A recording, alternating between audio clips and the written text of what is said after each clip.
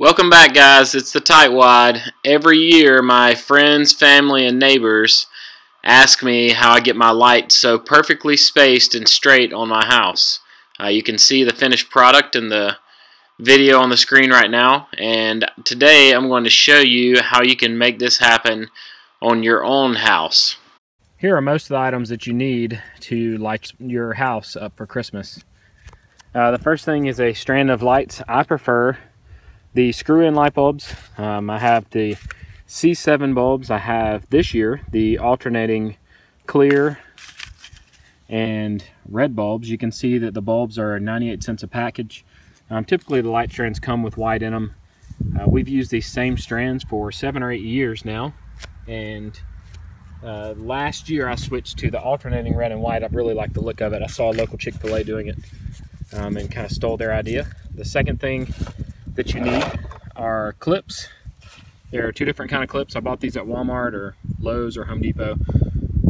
Uh, this is the new type clip that we have right here, where the bulb clips in this end, and this end either snaps on the gutter or on the shingles. And here's the other style clip that we had previously. I actually like these better. They seem to be better made. You can tell they're a little bit thicker plastic, but same thing bulb clips in on this end and then this hook goes either under the shingles here or onto the gutter here.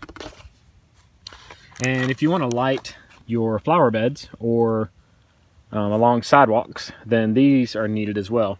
These are light stakes and the light just clips into the top of it and then it sticks down into the ground. Once you have your clips and your bulbs screwed into your wires, it's easy to make your lights look nice and uniform, evenly spaced, OCD if you will, across your house. The strands are about 25 feet long. They have 25 bulbs in them. Uh, the particular strands that I have do anyway. And you can see I've got my clips on. Doesn't matter which ones. I put two different clips on here.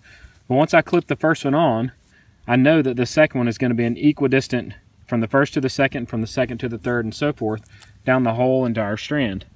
So my lights, if I just pull the strand tight in between each one with a clip on every single bulb, everything is going to look nice and uniform. You'll need a few other items as well whenever you are hanging your lights. You're going to need some extension cords to run the power from the lights down to the outlets on your house. You may need some of the splitters, the ones that have uh, three plugs for additional wiring and one plug for the additional hot wire coming in and you will also need timers for the different zones on your house. If you can get away with one zone, that's great, but typically you try should try not to plug more than three to four strands in one electrical outlet or else it will blow your breaker. Once I get the light bulb screwed in and the clips on, I plug in the strands and I can do two at a time and I check all the way down the strand to ensure that the light bulbs are all working. It is much easier to adjust a clip or replace a light bulb while they're on the ground. If you're going to have two strands together, make sure that you tie a knot by looping them around each other and then plug them back in. Once you tie the knot, they'll look like this, and when you go to pull the strands down, they will stay together instead of breaking apart and making you have to climb back up on the roof. Be sure once you have your layout completed that you mark your strands somehow. I used just duct tape and a Sharpie, and I know that this one goes on the side of my house, and it's the first string of two. I also always plan out where my male plugs will go. The male plugs need to be closest to the power available on your house. Since your bulbs are automatic, automatically evenly spaced on the wire, the rest of the process is just to take each clip and stretch it as far as the wire will go and you'll get even spacing along your whole roof line. Be sure that you adjust the bulb's positioning in each clip as you go so that they're all standing up the same way. I'll also like to give mine a slight turn to make sure the bulb is tight so that it hasn't, to ensure that it hasn't come loose while I was hanging the light strips. So you can see I've lined the front edge of the roof all the way around my house, including the top peak, which is not fun. With lights, they are all evenly spaced. And then since the main road comes down this side, I have them running down the side of the house as well. I'll give you another picture once it gets dark. If you notice, the light right in the center of the screen is brighter than the other white lights around it. That typically means that this light is about to blow. So since I have my ladder out tonight, replacing that light bulb, I will also go ahead and replace the bright light bulb because I know it's going to blow within the next few days.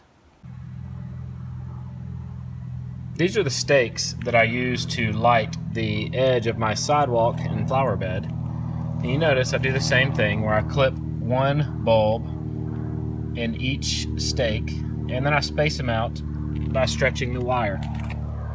And I run this all the way along the edge of my sidewalk. And then I do the same thing between the grass and the bed on the other side of my house. This is the finished product after I put all the lights on. And you can see that I have lights lining the whole roof line as well as the sidewalk and the beds in front of the house. Uh, the only thing left to do now is to maintain the lights by replacing any bulbs that go out. You can see I have one bulb out near the pine straw on the ground and I will simply get that replaced and be good to go. I never plug more than two light strands together and I can plug up to six in a standard outlet without it blowing. But I try to stay at about four or less per circuit. If you want to watch some more of my videos, click the one showing on the screen. If you want to subscribe to my channel, which I highly recommend that you do, click the Tightwad logo.